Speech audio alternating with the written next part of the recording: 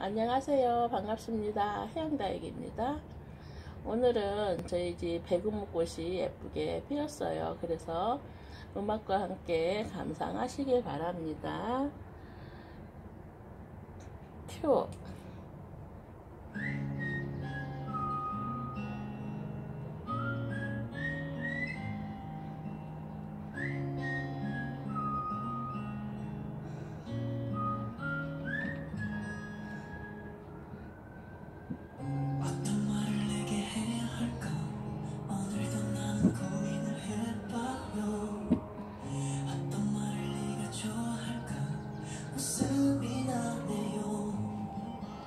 그런 눈빛을